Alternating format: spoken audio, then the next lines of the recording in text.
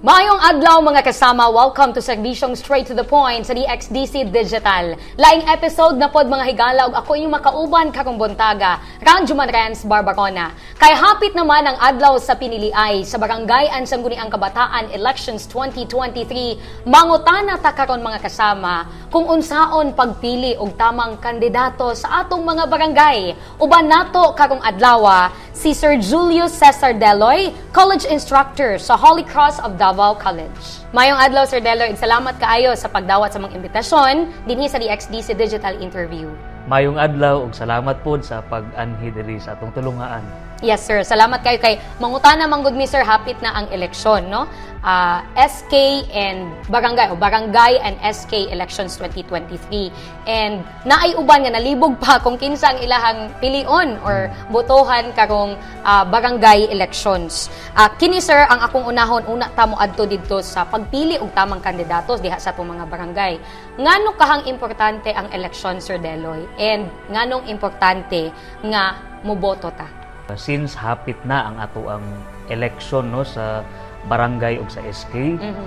uh, regarding sa election importante kini siya kay usa kini ka esensya sa demokrasya nga nasod sama sa Pilipinas mm-hmm. sa atong nasod Pilipinas so ang kaning election mao ni ang uh, murag ato ang expression no expression sa atong katungod sa atong right ug sa expression sa atong kung kinsa gyud ang atong gusto no nga mag-lead mm-hmm. sa ato uh, mag-lead, mag-manage dili lang sa sa usa ka lugar pero sa kinatibuk ang nasod. Mm-hmm. So karon we are talking here of uh, barangay and SK election so we will go to our local no mm-hmm. this is local election yes so importante po ni sa because ang barangay ug ang SK mao manggud ni sila ang uh, gina-regard nga basic unit sa atong mm. panggobyerno. Mm-hmm. And grassroots, di ba? Yes. Grassroots level kayo ni atong barangay o ang atong uh, ah, SK. So importante po ni dili lang ang atong national mm-hmm. o ang atong uh, city nga nga scope but ang barangay ug ang SK importante ni because grassroots sila nga level sa atong panggobyerno. Mm-hmm. Yes sir, salamat ni Ana no at least masabtan sa ato ang mga kasama nga naminaw karon ug nag-view sa ato ang live streaming sa DXDC Digital. Sir, imuhang uh, gihisgutan ganina tong importansya sa eleksyon. Mm-hmm. Mangutana pud ko sir nganong importante nga moboto ang mga katawhan kay basin unya maingon sila kay local ra man na dili sa kumuboto. Sama sa akong giingon mm-hmm. nga bisag local ni siya, remember nga grassroots. Mm-hmm. When you say grassroots level nga pang gobyerno, mas kani nga uh, level no structure sa atong government ang mas nakasabot mm-hmm. diri sa ato ah. Yes. Kana. So dapat kung kita registered voter ta, rehistrado ta, atong i-exercise ang atong political nga right. Mm-hmm. Okay, thank you sir. Dinhi ko sir, anhita dinhi sa angay ikonsidera sa pagpili og kandidato sa barangay. Unahon nako ni Sir Deloy ang kining pilion nga kandidato sa sangguniang kabataan. Naaman gid kay mga estudyante sir no uh, as an instructor sa political science unsa kahapod ang imuhang kining ihatag nga uh, mensahe sa imong mga estudyante or kining mga moboto sa atoang sangguniang kabataan candidates unsa tong angay nila tang tan-awon or konsiderahon konsiderahon sa pagboto sir sa SK kisa ko unahon ang nanaga SK. ang nanagan yes. mm-hmm. sige sa mga nanagan, uh, kabaluman ta kung ano ta nanagan no because mm-hmm. of our commitment. No, not just our promise because yes. I look into uh, not only my students but mm-hmm. to all who run for the SK nga level. They run for specific reason or commi- commitment. Mm-hmm. Yan.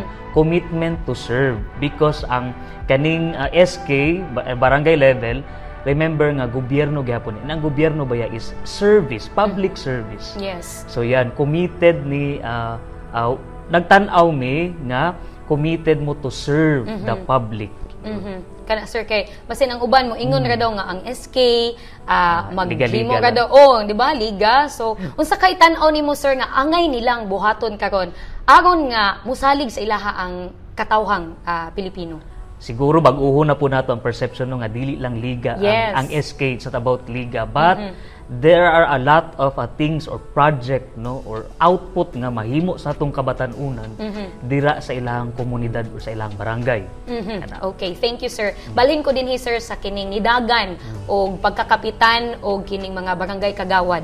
Unsa pug kaha ang angay nilang buhaton sir aron saligan sila sa ilahang mga ah, katawhan di sa ilang barangay. Okay.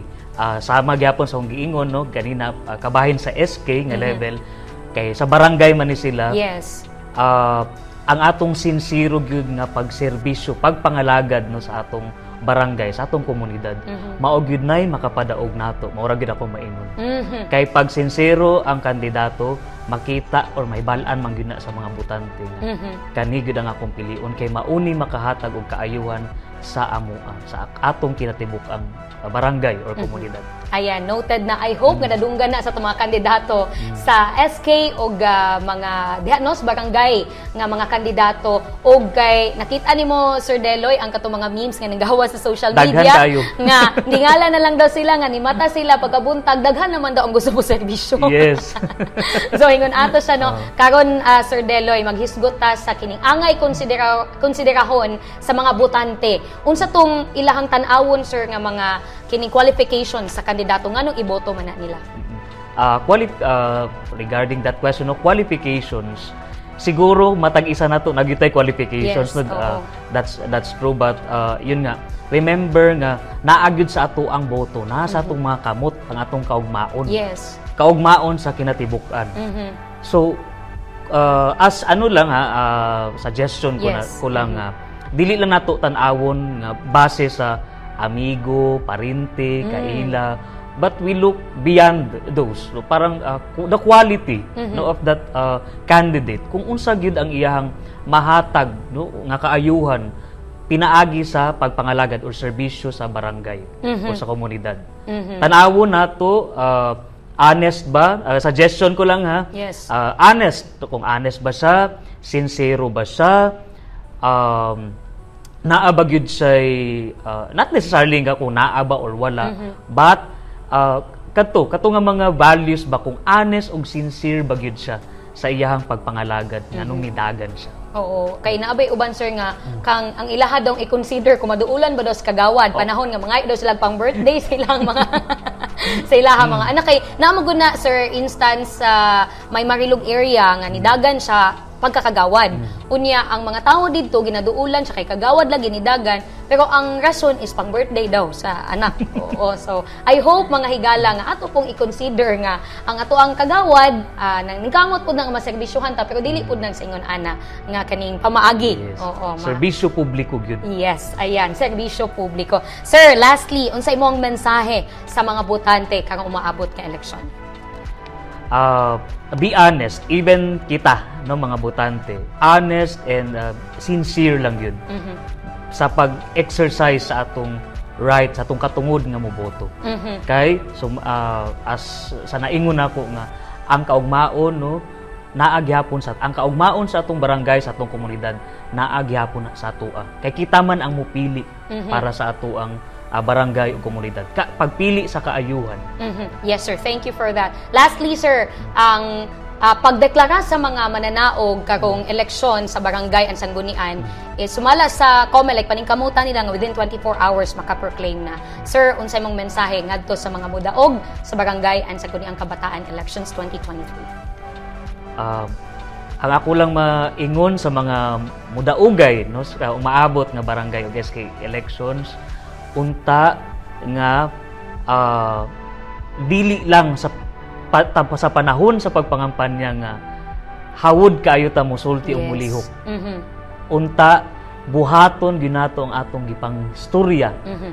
sukad ng ampanya ta Mhm. kana lang yun Alright, sige po. Salamat kaayo, Sir Deloy. At ato nakauban mga kasama si Sir Julius Cesar Deloy, college instructor sa Holy Cross of Davao College. Usa na pod ka mahinungdanon nga hisgutanan ang ato ang episode karon sa serbisyong straight to the point, bahin usab sa barangay ang Sangguniang Kabataan Elections 2023. Mga higala ayaw usab kalimot nga i-follow ug like ingon man maminaw sa dial sa radyo nga 621 kHz alang sa tuang special coverage sa Bantay Balota 2023 the RMN special coverage sa eleksyon.